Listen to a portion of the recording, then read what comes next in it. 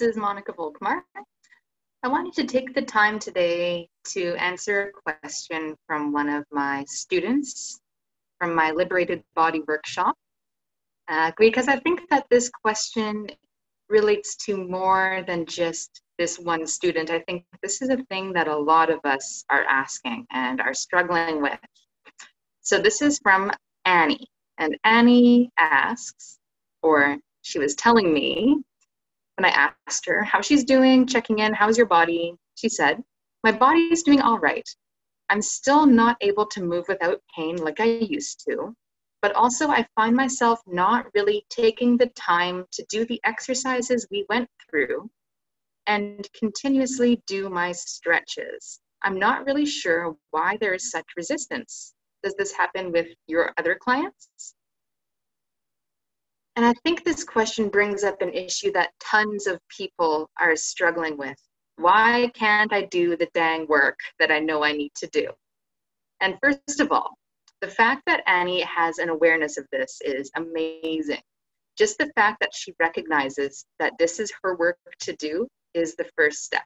A lot of people haven't even taken this sort of responsibility and think that their inability to get free from pain or get out of whatever situation their body is in is everyone's fault but theirs. Maybe they have things, excuses like the physio is too expensive, so I didn't go back. So it's not my fault I didn't get better. Or the exercise doesn't work the first time I did it, so obviously that's not my fault.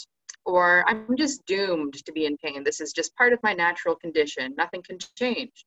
Or nothing works. Um, these are all excuses that put the blame on something else without taking responsibility. So Annie already recognizes that she needs to take responsibility and she just wants to know why is it so dang hard? Why am I not making this important? Why is she experiencing the resistance to doing the work? And when it comes to improving the way we move or getting back into activities that we love without flaring up pain symptoms and old injuries, if that's something you're dealing with, that's something that I deal with every day. The what to do is pretty common sense, actually. The first thing is we need to assess the problem. Is it a joint restriction? Is it something muscular or a fascial restriction? Is there a repetitive movement or something that you're doing that you just need to stop doing? Is there an old injury, like an ankle sprain you had at age 12 that isn't finished healing, so you need to get some work done there? Are you just not moving enough generally? Do you need to go for a walk every day? So we need to assess what the problem is. That's pretty simple, or maybe not simple, but it's pretty common sense and it's an easy step to take. Next, we need to know what the solution is. So maybe that's an exercise that you can use to improve your mobility, or maybe it's removing that activity you identified that is causing your body harm. Maybe you just need to make the appointment to go get some treatments for that old ankle sprain so that it can fully heal. Maybe you just need to walk every day.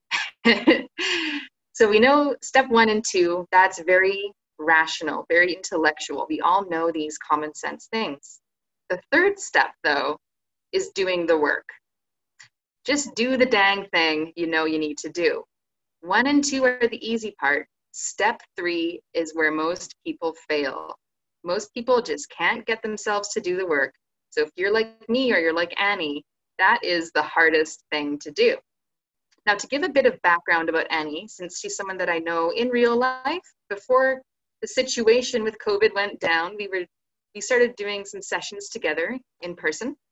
And then online, she recently did my Liberated Body four day workshop.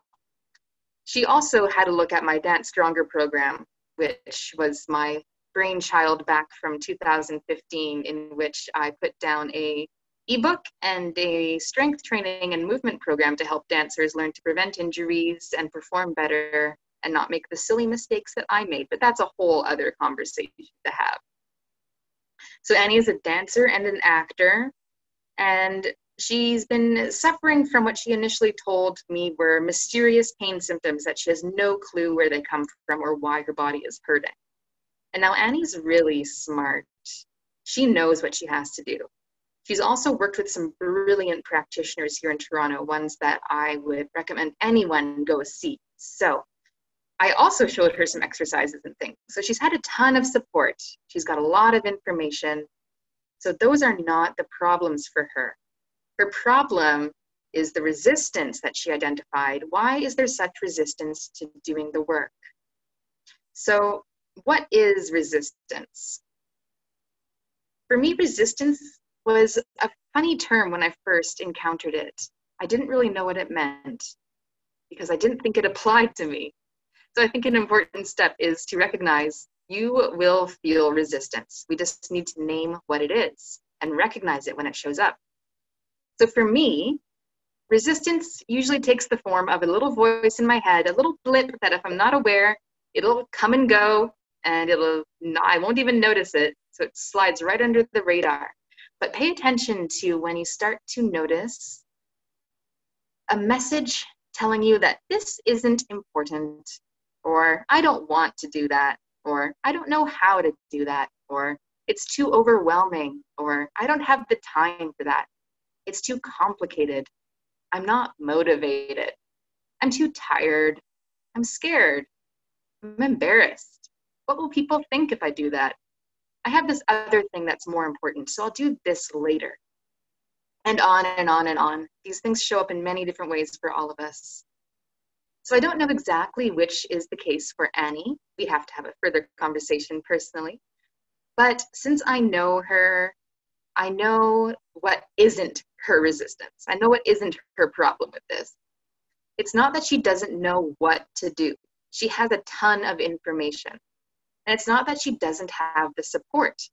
At the very least, as a student of my liberated body workshop, she has me through the magic of Zoom, and she has the online learning platform I've created where she can do classes weekly that will help her to engage in the work she needs to do. Um, she can even, you know, do a personal check-in with me or anyone that she's ever worked with. I'm sure if she emailed one of her practitioners that she's worked with in the past and said, "Hey, I'm running into this problem. Can you help me?" She would have the support. I know she has a solid support system of friends too who would absolutely encourage her to do the work she needs to do. That's not the problem. It's not that she's lazy either, because guys, she's a freaking actor and a dancer. And do you know how much grit and perseverance and determination and hard work and effort it takes to make that work as a career? And she's done this. So that's not her problem. It's not that she needs to work harder. She knows what it means to work hard. And it's not that she has she doesn't have a reason either to get well. She relies on her body for work.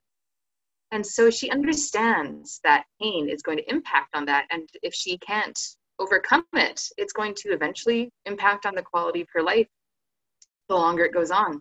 So the problem I want to re- reiterate is that it's not what to do, it's that there are these belief systems and mental blocks getting in the way of taking action on what she knows is important to do. Now, resistance gets paralyzing when we aren't able to name it and meet it for what it is. Because resistance is often fear. And fear doesn't always look like fear because we don't always want to admit that we're scared. We live in this society where admitting that we're afraid of something is seen as bad. I will admit to you right now, I'm freaking scared. This situation right now with COVID, it has shaken my life. And to admit that I'm scared I think that a lot of people are afraid to hear that because it'll make them realize that they need to admit that maybe they should be scared too. And it's not bad to be scared, but what causes a problem is when we can't admit that we are. And this is how resistance slips under the radar because we've been taught that fear is bad. But here is the truth fear, the very presence of it, is the indicator that this is the thing you need to move into that will lead you to living out the highest result of yourself, the one that you want to live out. So whenever there's fear, there is also there's your solution to move into. Only we don't really see it that way. So I want to share with you a little six-step framework that will help to clarify the process that you'll go through to get from resistance to that vision that you have of yourself who is a person who's not in pain, who can do the things they love without fear. So you might find yourself at some spot on this six step process. So let's say that for Annie, the vision she has for herself is she wants to get out of pain so she can do her work better. She can do her acting and dancing without fear of flaring up her stuff, without flaring up her symptoms. So the process that we need to go through is first, we need to see the facts. Then we need to see what's the truth. Then we need to see what is the demand of the situation. Fourth, we need to understand the effort we need to, put in. Next, we need to see the transformation we need to take. And sixth, we need to see clearly the result. So let's break that down a little bit more. What are the facts? So for Annie, we'll just use her as an example. So for Annie, the fact is she's in pain and she can't seem to get out of it. Very simple. What's the truth? Because sometimes the truth and the facts aren't the same. So the truth is that Annie can't bring herself to prioritize the work. That's just what's happening right now. The truth is, look at your life, what's actually going on. She can't prioritize the work. And she said that herself. To put it bluntly, the work right now isn't important enough for her to do it. Which leads us to number three what's her demand? The demand is for her to see the importance of the work. If the truth is she is, isn't putting importance on the work, then the demand follows she needs to find a way to make it important. And this is not an intuitive thing to do because it goes against everything that she set up in her life, all the structures. To do this, she needs to have a clear vision of the result that she wants. If she wants to not live in pain, she needs to keep this in mind in order to make this important for her to do. So the demand will tell us what is the effort that needs to be undertaken. What exactly needs to be done on a daily basis to make consistent progress forward? Now, I really love this word that I've been introduced to through some of the training that I've been doing. I like, I like the word sadhana, S A D H A N A. I don't know if I'm pronouncing that correctly. Sadhana, sadhana, whatever. so a sadhana or a sadhana, whatever. I'm going to get so messed up with that word. But basically, it means the effort that I need to undertake. It doesn't mean the perfection I must be right now. It just means what effort do I need to undertake and recognize that it will be effort. So for her, the effort she needs to undertake, it might be she just needs to block off five minutes a day in her calendar to start doing some work on one of the exercises she has in her toolkit already. Just put it in the calendar and see that this is the demand I have and the effort I need to make is to just do that five minutes. She doesn't need a complete overhaul all at once, just five minutes. Keep it realistic, but it also needs to be just a little outside the comfort zone so that it starts to get us used to feeling the resistance, but doing the thing anyway. Next, once she's started to do the daily effort, she can start to see what's the transformation that needs to happen. So, the transformation for Annie might be to go from someone who isn't able to give herself even five minutes a day, focused 100% on the demand that she needs to live out, to transform to someone who can face her facts, who has the confidence and the courage and the discipline to do the work and put herself first and prioritize her body's demands for recovery and healing, and to be the kind of person who can say no to everything else getting in the way. Now, that's an amazing transformation. And it doesn't happen all at once, it happens by doing, doing the daily effort. And this leads us to the result, the final step here the result is that Annie is able to live pain free. The result, remember, is also bigger than you. It's a blessing for all when you can live out that result, when you are living out the vision you have for, for yourself. So we have to remember to see that becoming pain free, living without pain, and being able to engage in all the things we love, that's also a blessing for everyone else in our life. And in this way, when we can see the blessing that it is, when we achieve that result for ourselves, we can let go of any guilt that might have been there for feeling selfish about spending time doing the work. Because sometimes that's what comes up. we just feel a little guilty. Like we feel like, oh, if I take this time for myself, then it makes it look like I'm a selfish person, which is absolutely not true. So, some homework for you is I'd like you to put this framework to the test for yourself and see what comes up. It's really helpful for clarifying what we actually need to do. What are the facts?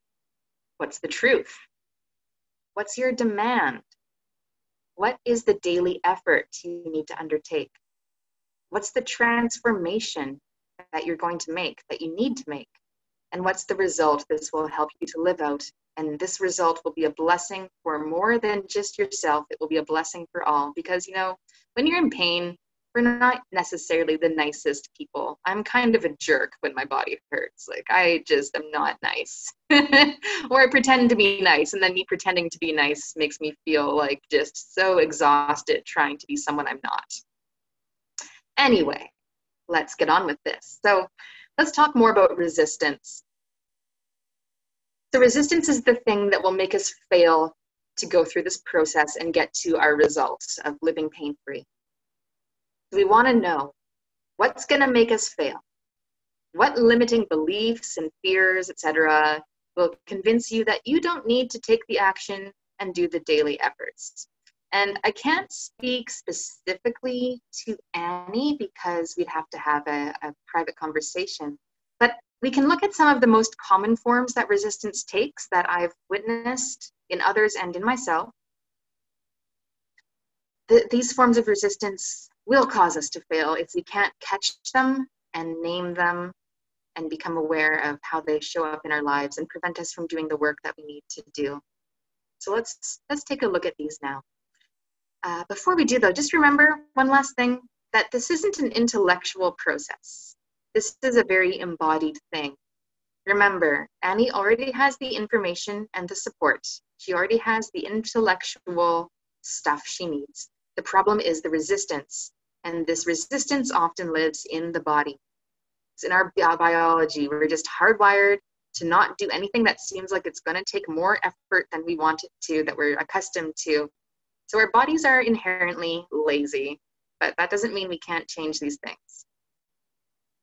As I like to say in the Liberated Body workshop to my students, liberating your body is more about waking up the part of you that's already free to do the work the part of you that is free of resistance. We just need to wake that person up inside you. And that is really the first step to setting the body free from any sort of limitations. So I've come up with five or 15 common forms of resistance, and I want you to see if any of these resonate with you.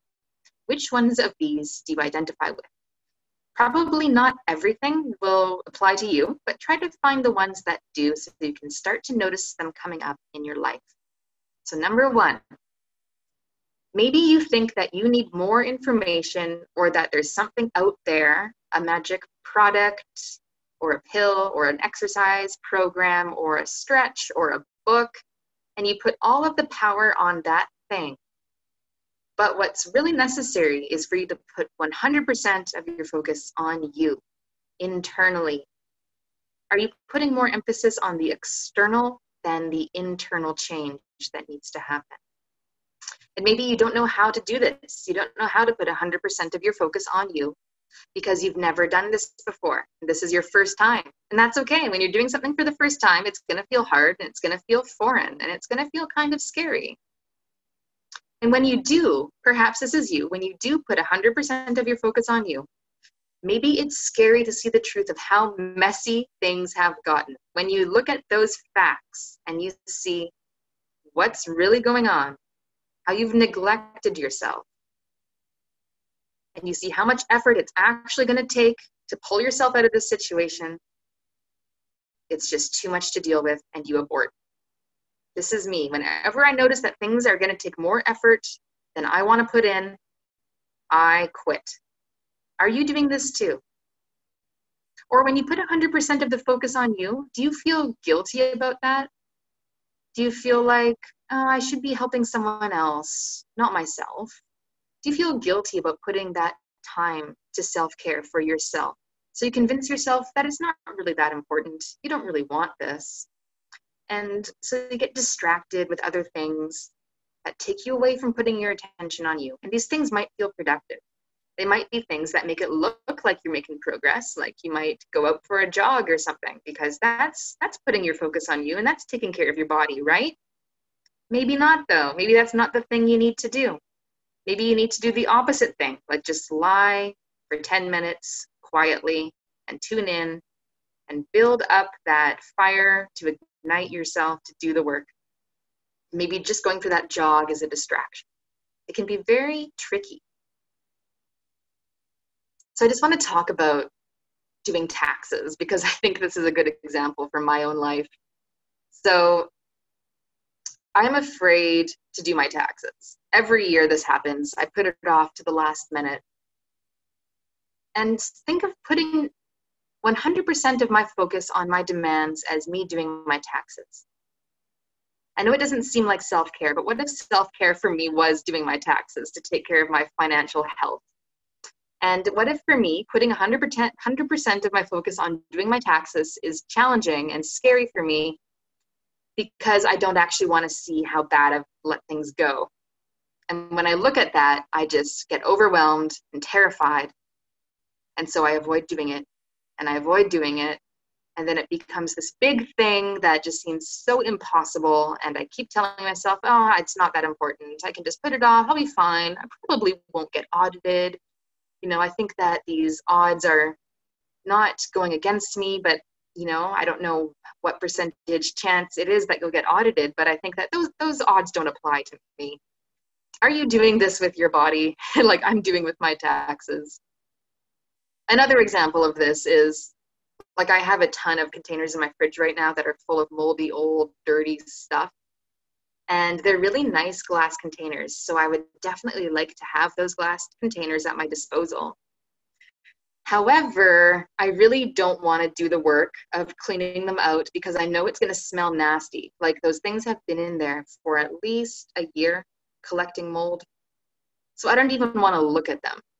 What's more likely is I'm just going to throw the whole container out and convince myself that I don't want those containers that much. It's more important just to get rid of the problem than actually do the work ignore the problem, throw the whole container out instead of actually doing the thing that's hard, which is to clean them out and smell the nasty smell I'm gonna have to smell. Like I just wanna avoid doing the effort. Are you doing this with your body? Are you avoiding doing the effort so you just throw the whole thing out and convince yourself you never wanted it in the first place? These are the mind tricks that we do to ourselves. Anyway, let's move along to the next one. Number two, do you believe that you can't change? Now, I want to tell a story about a client of mine who was in a lot of pain. She had ankle pain, knee pain, hip pain, back pain, shoulder pain, neck pain, all the pains. And yet she was a dancer and she wanted to keep moving and staying active and have a fitness routine. So I was happy to help her with that. And every day she'd show up and we'd try different exercises and things would hurt.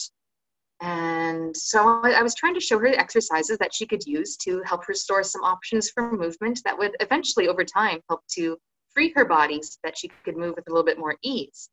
But she was not having it. She was like, Monika, I don't want to do these subtle, small exercises to change the way I'm moving. Like, just give me a bone here and let me do some more intense stuff so that I can get a workout.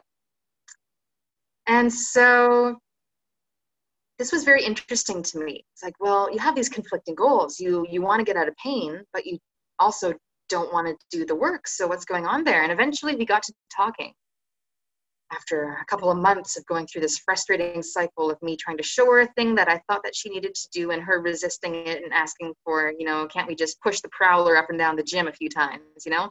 So what ended up coming up for her, she told me, I just don't believe I can change, you know, like I'm in my 50s I can't change, right? Like I'm stuck like this forever. And I was like, whoa, that was just heartbreaking for me to hear. You know, the fact that she was there showing up, there must have been a part of her that believed she could change, but I guess she just didn't believe it enough. But I want you to know that you can change. There's this thing called neuroplasticity, and it's a general rule of the universe of our nervous systems are hardwired for change. We can change if we give ourselves the right stimulus. He was not open to having that new stimulus. She just wanted to do the stuff she wanted to do to get a good workout. If she had been open, perhaps, to having a new experience doing one of these exercises that were intended to help her move a little bit more freely versus just grinding her body into the ground, then her body might have been given the opportunity to do something different. Now, I'm not saying that, you know, I had the right answers for her, and if only she did what I said, things would be fine. No, that's not what I'm saying. I'm just saying that many, many of us have this belief system that we can't change, but know that the one of the only truths in this universe is that change happens. And we need to be open to doing the work to make that change happen. So believe that you can change. Moving on. I don't have time, AKA, it's not important enough to me. So this is the thing that, you know, it's talked about over and over and over again. Whenever someone says, I don't have time for this, what they're actually saying is, this is not a priority for me. So what this brings up is a lovely conversation about our values. And do you know what your highest values are? Many of us haven't taken the time to identify what our values are. For me, I can say my values are movement, learning, and when I'm not able to link things in my life to those values of movement and learning, then they're not important to me. So doing this right here is important to me because it relates back to my values of learning and movement. When I do things like this, I learn and it links back to movement. I mean, this is all about changing the way we move and using movement to set our bodies free. So I made the time to do this. So, what about Annie? She's not making the time to do this. What are her values? What is the most important thing to her? And can she link doing this work to those values? So, how do we find out what our values are? Well, there are a lot of questionnaires on the interwebs that you can look up to look at what your values are. One of my favorite ones is actually a book by Dr. John Demartini called The Values Factor. I strongly recommend it. It takes you through a process of identifying what your values actually are, not what you wish your values are, what your values actually are, because sometimes what our values are, we'd rather not admit, especially when we have bad habits, or not bad habits, but habits that aren't aligned with that vision we have for ourselves. So we want to get clear what are our values, and is the is that excuse that I don't have time really just saying I can't link this to my highest values? And can you find a way to link this thing, doing this work, to your highest values? Um, an example I have from one of my clients who we were talking about this, and she's not someone that really genuinely loves doing exercise for the sake of doing exercise. If it was up to her, she probably wouldn't do it at all. But what's really valuable to her in her life is she really cares about arts and culture. So she needs to be able to have the capacity to go to a theater and sit for a few hours to watch a show. And she needs to be able to be mobile so she can go out to these events that she likes to do. So the reason why she does the work on her body is so she can sit in a chair and be comfortable and so that she's not in constant pain when she's out and about meeting people at these arts events and watching the shows in the theater she really loves. So when we linked the movement practice we were trying to develop for her back to her highest values of arts and culture and socializing, it became really clear that, yeah, this is really important to me. I ought to prioritize this. And then she started making the time for it. Moving on. So maybe this seems way too overwhelming for you to even start doing the work, so you don't know where to begin. Now, this is kind of bullshit because overwhelm is usually an indicator that you don't really have a system in place, and it's really easy to find systems. And the information is out there. Um, sometimes it's just an, the unwillingness to recruit the support that you need or the unwillingness to do a little bit of research to find the system that you need. The information is out there. You just have to go look for it. And maybe you have to spend a little bit of money, like 20 bucks or something for a book that will give you a framework so that you won't be overwhelmed by it. And the longer you put this off, you'll get more and more overwhelmed and it will seem more and more daunting and you you'll feel like even harder to get started and convince yourself that it's not important anymore. That it can wait until later until, you know, you have a bit more clarity. So this is like me with cleaning my apartment. I let it build up and build up and build up and the next thing I know it it's 3 months later and there's a coating of dust on every single surface in my house and someone's coming over and i need to do this big deep clean and it's super stressful and i don't even know where to start and then once i do get started things get messier before they get cleaner and i get just so scared about this whole shenanigan that i go through every single time i have to clean and i know that it wouldn't be so bad if i just cleaned every week so what i need to do is create a system for myself that holds me accountable so that every week I do the cleaning. Like I just need to put that system in place. So maybe I have a calendar and I put it in my calendar that every Friday at 5 p.m. I'm going to just do a little wipe down of every surface in my house and that system will set me free. So maybe that's where the overwhelm is. That we just need a system, we need a little bit of accountability, we need to put it in the calendar so that we're actually going to do the thing. Now, here is a big one next. There's this fear that if we really commit to doing this daily effort, to getting the result that we want, that our entire life might have to change. And you might start to see that this demand is not just doing an exercise every day, but it also encompasses all of the things that you have to stop doing and letting go of some of the things that you're addicted to, some of the habits that you have that you know aren't serving you, and letting go of these things might make it seem like you have to become an entirely different person. And this is utterly terrifying because we're so attached to the familiarity of the identity we've built for ourselves and the routines and the habits that we have, even when they're keeping us in pain.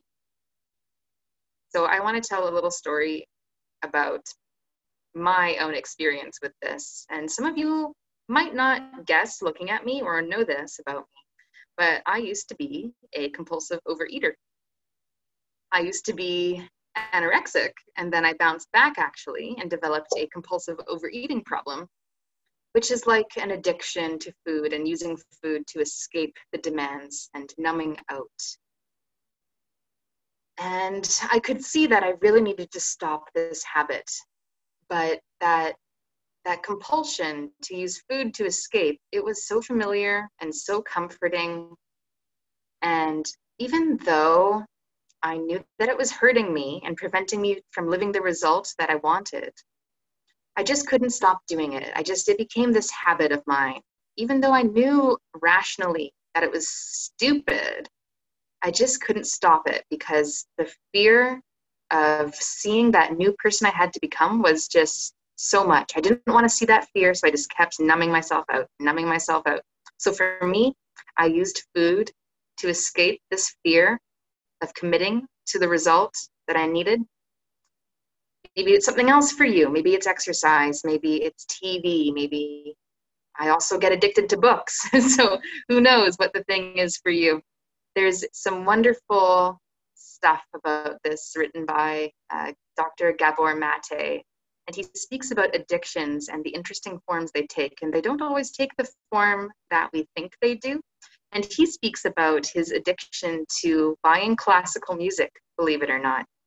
And we often think of addictions and numbing as like drug abuse or alcohol abuse, but it can take the form of something so mundane and almost healthy you know like isn't listening to classical music such a beautiful thing so enriching for him it was an escape from things that he just didn't want to focus on you know and it took him away from his family it's a beautiful story he tells so i strongly recommend i think the book that i'm referencing where he tells this story is in search of hungry ghosts or something about hungry ghosts so uh, definitely check that book out. It's lovely. Anyway, let's move along. So maybe you have this belief that you don't think it'll work for you. So if you start doing the work, it's just not going to work. So it's not worth investing the time. So this might translate to Do you think that you're special and the rule of if you put in the work, you'll reap what you sow doesn't apply to you? Because if it doesn't work instantly, it's not worth it. And you're so addicted to an instant gratification that if something doesn't immediately make a difference, you dismiss it as ever being effective. Because sometimes this work takes time. I'm a really good example of this. But I never had this thing where I didn't believe I needed to put work into the process. When it came to my physical body, anyway, and getting out of pain, I, I never had this issue or this belief that it needed to be instant. I knew it was going to be a long haul, but some of us think that it needs to be this instant thing where you just do one exercise and you're good forever. No. For me, it was definitely a process. I actually had to commit myself to doing just one exercise every single day for a year. And then eventually things started to shift for me. And and I recognized, even though now these days I'm mostly out of persistent pain, I don't have many symptoms that bother me. They're just kind of annoying little things, but I know what to do about them. But even so, I know that there is a certain number of days I can go without doing my work, after which some stuff will start to come up again, and like my neck pain will start again if I'm not doing my work. So I know that this is a long term process and it's not an instant gratification thing. And so many of us are stuck in that cycle of needing instant gratification. And it's not your fault society has taught us that this is how we should be or that we can have things instantly and we can buy things and things will get better and we can just you know there's a magical thing you can purchase and your life will get better but it doesn't work this way i'm sorry we have to face the truth and wake up to the demand and do the daily efforts that we need to do it will work for you if you do the work so there's another fear that we might have that things will start to get worse. We might be doing the wrong thing and it'll make things worse. So we might as well just not do anything at all. But can you see the, the logical flaw in this? That things will get worse probably if you continue to do nothing. So you might as well start doing something, even if you don't know if it's the right thing. So you can rule it in or rule it out and then find something that does work as you go through a process of exploration. Now, maybe you're saying, I don't have the motivation, like I just can't find the motivation to do this. And again, this is you not taking responsibility for the effort that you need to take. And motivation, I want you to recognize, is you relying on something external to spark the energy to do it. And what we have to find is the inspiration, which is that inner spark that wakes up in you to do it. It's something that a lot a lights up inside of you and says, I need to do this and I want to do this. And your need and your want become aligned. And then you just naturally start to do the thing without that inner debate about it. And we, when we can see the situation clearly before us, that's when we start to wake up. Something will automatically spark in us when we can see the situation for what it is without delusion. So we have to be able to see the facts. We have to be able to see the truth and see what the demand is and see what the effort is, see what the transformation is, and then we can start to get towards the result. But we have to see all of these things.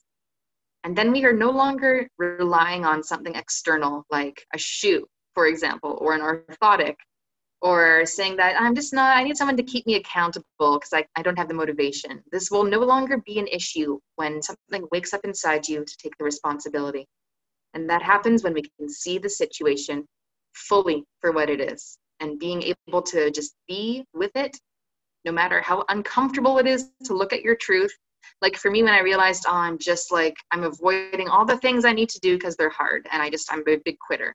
Like that was so hard for me to realize about myself. I'm just a big quitter and when things get hard i stop and i just get distracted with something else. When i saw that something lit up inside me like whoa i don't want to be that way anymore. This is keeping me stuck. I need something to change. Now let's move on. We're getting close to the end here. This is number 11 are you worried about what other people will think about you because we can get really invested in the image other people have created for us. So maybe Annie, you know, maybe she people see her as this person who is, I don't know, she she's strong, you know, she she just is robust and resilient and she doesn't need to take the time to, to take care of herself because she's just good you know maybe people see her for something like that and so maybe if annie were to start taking the time to do self-care people would look at her and go whoa that's not the annie that i know. The annie that i know is like she doesn't need to slow down. She's strong and solid. So maybe annie doesn't really feel like she can take the time to do this work because people won't recognize her anymore. And that almost feels like she's not her anymore. And like who am i? And will people accept me for who i am? Will i still be they have these friends and be accepted if i start acting differently and all of us go through this fear if they're really your friends they will accept you when you start to take care of yourself let me just say and if they don't if people will not accept you when you start to take care of yourself then that's more their problem, not yours. And I think a lot of us wonder will it look selfish if I take the time for myself? Remember, we need to start putting, for to do this work, we need to start putting 100% of our focus on ourselves, even if just for five minutes a day. And that sounds a little selfish, doesn't it? But remember that it's not. You putting that focus on yourself is setting a nice example for others for how they can take care of themselves themselves. And it's also helping you to show up as the person that can be useful for other people and can be be there for people that rely on you. But if you don't take care of yourself, like it's such a cliche thing to say, you know, but if if you're not putting that oxygen mask on yourself first, then you can't possibly help the person next to you with theirs. I think a lot of us also think that people will look weird if we start doing these sometimes weird looking exercises I know some of the exercises I give my clients to do, they look kind of strange. Like they're not conventional things, but they work if you do them. So will people think I'm weird looking? And absolutely, that's a thing that I've bumped into. I remember when I started working out for the first time back in university, and I was really un, un um, not unconscious. I was really self-conscious about my body. So I didn't want to go to a gym and let people see me working out in gym shorts and stuff. I was really weird about people watching me work out when I wasn't confident in the way my body looked. So I started working out at home and I would only do it when my roommates were out of the house. And I'd have to like make really sure, hey, are you going to be out for the next hour? Because I'm going to work out and I don't want anyone to be around to see me. And it was really weird. And that little thing got in the way of me doing the work that I knew I needed to do. Because at that point in my life, strength training was absolutely important for my dance career. I needed to be strong enough to prevent injuries. So to do the work was important, but I was letting this little fear of someone's going to see me and they're going to see me struggling and I don't like the way I look when I do this. I look weird, so I don't want people to see me do this. And I'm going to let that get in the way of me doing the work that I want to do. And so many times I just didn't do the stuff that I needed to do because my roommates were home. Now I have some clients that told me this too. They said things like, "Well, my kids are around, so I can't I can't come to one of your online classes because my kids are in the house." Or my roommate's home and I, I really don't like uh, my roommate seeing me do this because I feel weird. I'm like, well, you know what? You could reframe that as you're setting an amazing example for your kids and for your roommate because you're taking this time to take care of you and like not giving a, a dang about what people think you look like. Like how powerful of an of a model is that for people in your life to see you just showing up as you and not giving a hot dang about it and doing that self care, you're going to teach people how to be the best versions of themselves. So remember that result is also a blessing for other people in your life that witness. Okay, we're getting close to the end here, guys. Stay with me. Number 12, maybe is your identity built around moving and exercising in a particular way, and the work that you need to do, like the daily exercise that you need to do, is not that thing. So, for example, when I was a dancer, I was against anything that was dance specific, even doing yoga because it wasn't dance. I was against all of that stuff. And what I needed was to cross train. So, my demand was I need to do something different than dance so that I can take care of my body. But I was against it. I had so much resistance to doing it. So, even though the excessive amount of dancing I was doing was hurting me. My identity was so invested in being that, being a dancer, being seen as a dancer, that I wouldn't do anything else. This also happens when we get addicted to intensity, which I'm actually jumping ahead and kind of blending this with point number 15 I was going to make, but actually I think these points can be merged together. So are you addicted to intensity, to that no pain, no gain thing? Are you unwilling to try a gentler way of doing something? Because the only way that you can feel your body is when you push 100% and do things hard style. Well, I hate to break it to you, but we can't operate at 100% capacity all the time. We can't even operate at 80% capacity all the time. I'm doing some meditational studies right now, and our teacher is telling us that we actually should be trying most of the time to be functioning at 20% of our effort so that when the time comes when we need to push, we have a reserve. He made the analogy of like a, a race car, like a Formula One car. Most of the time, that car is just resting in the garage so that maybe for this 1% of that car's life, it will actually push 100%. And then it gets wrecked. So when we push 100%, we kind of wreck ourselves, right? So what if we just flipped that to 20% effort 80% of the time. It's like a new sort of 80 20 rule. 80% of the time, you're giving 20% effort. And that's not meaning you're being lazy. Because what if being lazy is actually pushing too hard? Being lazy is often us finding a way of being productive to avoid the thing we need to do. And pushing really hard feels really productive. What if that's actually you avoiding doing that 20% easy way because it doesn't feel productive right now? Just a thought. This is definitely me. I am addicted to intensity. If I can't feel my body working hard, it doesn't feel like it's worth doing. And for me, doing the work actually meant I just need to spend 10 minutes a day kind of just lying on the floor and chilling the F out. This was scary because it was bringing up all of the challenging reasons why my body was hurting. When you're in stillness, you can kind of start to see the reality of what's there. And I think a lot of us stay busy and push and do intense exercise so that we don't have to look at our truth. But remember, first we need to see the facts and see the truth so that we can get to the actual work that we need to do but getting still and going gentler and not going so intense so that we can see the truth, it's freaking scary because the truth isn't always what we want to see. Sorry, tough love. You got to look at the truth. And this leads me to the next point that taking the responsibility and effort that you know is scary. There's no doubt about it. But I think if you embrace that there is great freedom in it. Know that it's going to be scary and do the thing anyway. And to live in this world where you think that you shouldn't be scared is delusional. And do you just want to escape into something that's more fun and interesting and enjoyable? And when things get hard and uninteresting and not fun, do you just want to quit and convince yourself it's not important?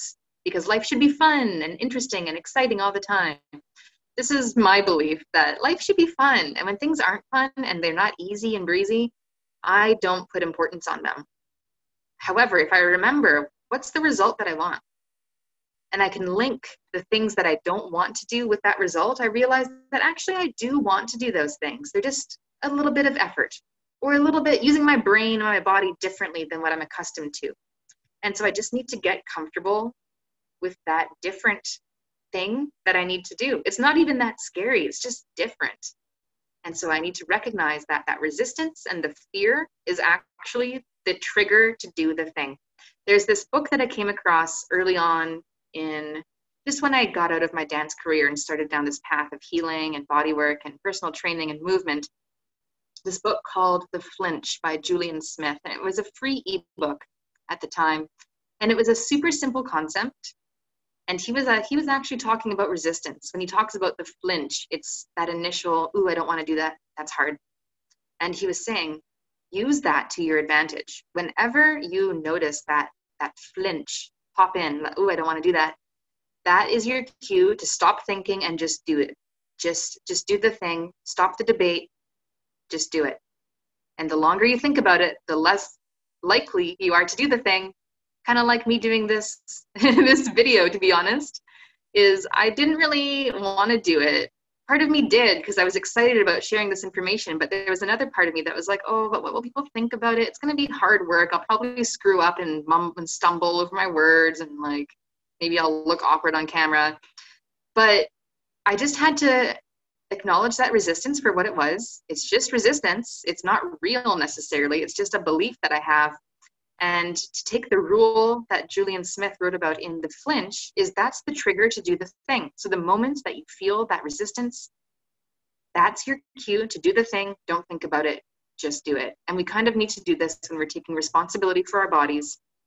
Put it in your calendar, feel the resistance leading up to doing it. Like, oh, I don't really want to do that exercise. It's going to be hard. It's going to take too much focus. I don't want to do it. That's the resistance. Notice it. Don't think about it. Do it anyway. There's really no other way around it. Just have to try. And second to last thing we're going to cover these common belief systems. Do you see doing the work as a punishment or do you see it as an act of self love? This is a big thing. Can you reframe this?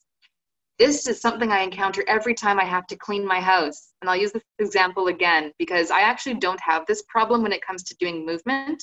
I'm quite good at doing the work when it comes to the physical area of my life. When it comes to cleaning, I cannot do the work for the life of me.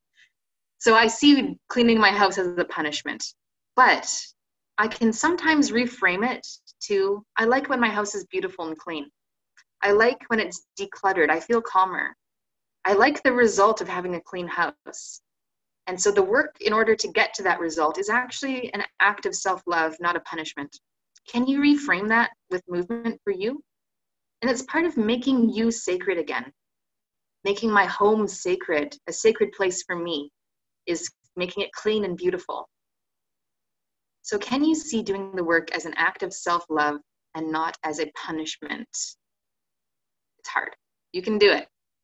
And lastly, Thanks for sticking with me through these long things I'm rambling on about. So, are you unable to say no to the things or the people that you need to say no to in order to free up the space to say yes to doing the work? Because we can't just keep adding, adding, adding, adding new things into our life without something having to give so for example to to do what one of the exercises i needed to do when i was taking care of myself maybe five six years ago there was one exercise that i knew if i just did it every day for a year i would be better. But it was so hard to find five minutes to do that exercise because there were so many other things i was saying yes to that i couldn't say yes to doing this other thing.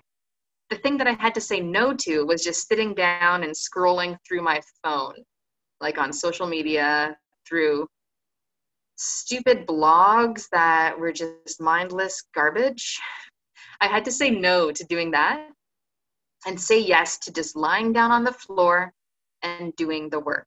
So, what do you need to say no to so that you can say yes to doing the work? Really think about that.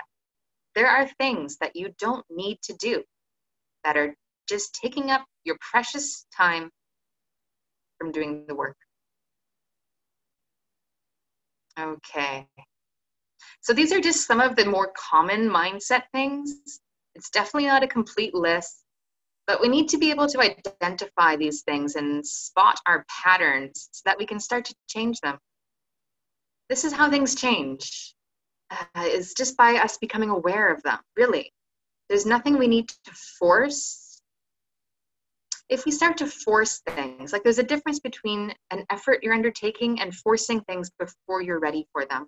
Usually, when you force things before you're ready, it leads to things like burnout, failure, and then disappointment because you feel like you can't follow through with the thing. So that puts you right back into the cycle of feeling like you can't do the work and the resistance comes up again. So, change happens when something inside us wakes up to meet the truth and gives us no option but to act one of the the frameworks that was put down to me from one of my meditation teachers is that there's these three steps. First, we become conscious. We become conscious of the thing that we're doing that's keeping us stuck as we are. So maybe you identified one of those belief systems and suddenly, oh my God, I see, if you're me, wow, I see how much I quit whenever things get hard. And I convince myself it's not important and I just don't do it because it's no longer important. So you start to see that. First, you become conscious of that thing. Before it was unconscious, suddenly it's conscious. This is amazing. Next, you start to witness yourself making the mistake over and over and over again, wish the one that you wish you could change. So I start, I'm now seeing, I'm witnessing every single time this is coming up. I need to do my taxes. Oh, I don't want to. That's going to be too hard. Oh, there it is again. I caught it. So the act of witnessing is just catching yourself in that belief system. You're not even doing anything about it yet. You're just catching yourself. And the more and more and more you catch yourself and be this witness to this thing that you're trying to catch, that's when you start to wake up into awareness and then change instantly happens without it feeling like you're forcing anything. It just, you suddenly feel like I have no option but to do the work. And change instantly will happen like this if you can sit long enough with that demand, with the effort that you know you need to take, and witnessing that thing, that resistance that's getting in the way. So the more and more times I catch myself in this belief system that if thing if something is hard, I don't want to do it and it's not worth doing unless it's easy. Sitting with this, catching it, that's what's going to lead us to the transformation. That's what's going to lead me to the transformation I need to make so that I can actually live that result, which is for me just doing my freaking taxes on time for once. now, I want you to understand again remember, this is an embodied thing, it's not an intellectual thing. That act of witnessing, witnessing the, those mistakes that we keep making, it, it's really happening. It's an embodied thing. It's very real. It's very physical. It's in our biology. And before we can actually make a change in our habits or doing this work we need to do, the behavior sometimes needs to change first before our attitude changes about it. I think this is very interesting because it goes against the way we usually think. Usually we think we change our attitude and then we can change our behavior. But how does our attitude actually change about something? When we have an experience of it providing a positive result for us. And how do we get a positive result? By doing a thing. So we need to actually do the thing first to realize that it's useful and to change our attitudes about it. So, first, our biology, our body actually has to shift about it so that our mind can follow. This is why I think, especially when it comes to doing these self care exercises, uh, movement explorations, movement practices that are to heal us and get us out of pain, we actually have to just do the dang exercise, feel how it helps us, and then use that fire to change our attitude about it over time. And it doesn't happen instantly. And this is what it means to embody the practice and not just think about doing it.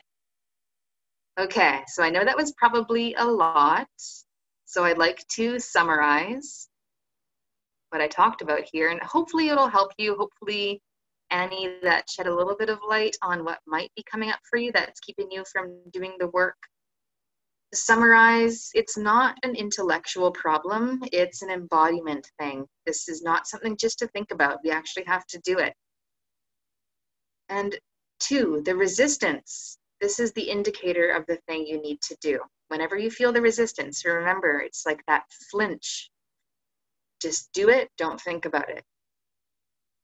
Number three, the process we're going to go through requires that we see the facts, the truth, the demand, the daily effort, the transformation, and the results. We're going to go through that flow. And if we can spot ourselves and what identify what those things are for us, get really clear on what the result is that you want. What are your facts? And fill in the blanks in between. And that's going to give you clarity. Number four, we need to we need to know the results and know that it's bigger than you and know that it's a blessing for everyone when you finally will achieve that vision you have of your highest self. And if you can remember this, sometimes that's the hardest part, is just remembering this is bigger than you. Remember the result. Every day, if there's one thing you could do, just take 10 minutes to sit and think about or mind map or draw, whatever you do, journal about the results that you want for yourself and the vision you have that doing this work will lead you to. Remember that it's important because it's so easy to forget. Remembering to remember is the hardest part sometimes. What beliefs and fears and resistance are holding you back that you might be blind to?